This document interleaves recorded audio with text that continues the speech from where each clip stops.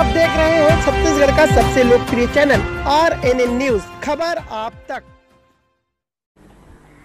नमस्कार मैं हूँ प्रीति मधुकर और आप देख रहे हैं छत्तीसगढ़ का सबसे लोकप्रिय channel R N N news आइए खबरों में आगे बढ़ने से पहले एक नज़र डालते हैं इस वक्त की बड़ी खबरों पर।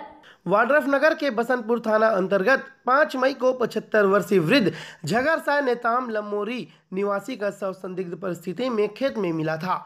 प्रथम दृष्टिया शव को देखने के बाद ग्रामीण व पुलिस ने हत्या की आशंका ज़ाहिर की थी, जिसके बाद मामला पंजीबद्ध कर उक्त मामले में पुलिस तफ्तीश जारी रखी। उक्त मामले में बसंतपुर पुलिस द्वारा पुलिस अधीक्षक व पुलिस अनुविभागीय अधिकारी दुर्वेश जायसवाल के निर्देश पर डॉग स्क्वाड के सहयोग से 10 दिवस के भीतर तीन आरोपी को धर दबोचा मृतक झगर साहब पेशे से झाड़ फूक किया करता था। इसी कारण को लेकर गाँव के ही निवासी महादेव मरकाम रामधारी पोया हरकलाल मरकाम से विवाद हुआ। तथा तीनों ने मौका पाकर झगर साहब का गमछा से गला घोटकर हत्या कर दी। हत्या में प्रयुक्त गमछा व सराई की बल्ली को पुलिस ने जब्त करते हुए तीनों आरोपियों को धारा 302, 201, 120 बी के तहत न्यायिक रिमांड पर भेज दिया है।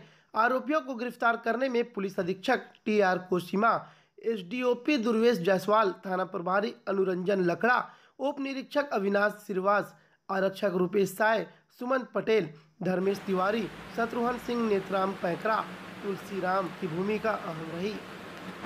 दिनांक 5 मई 2019 को ग्राम लमोरी में के झगर साहब जो अपनी बेटी के यहाँ पुराने गया था, वापसी के दौरान उसकी संदिग्ध अवस्था में मृत्यु कारित की गई थी। इस संबंध में थाना बसंतपुर में मर्ग कायम कर तस्दीकी कार्रवाई की गई, जिसमें आपसी बस महादेव हरक साहब और रामधारी ने मिलकर उसकी हत्या कर दी। Bureau report R N N news.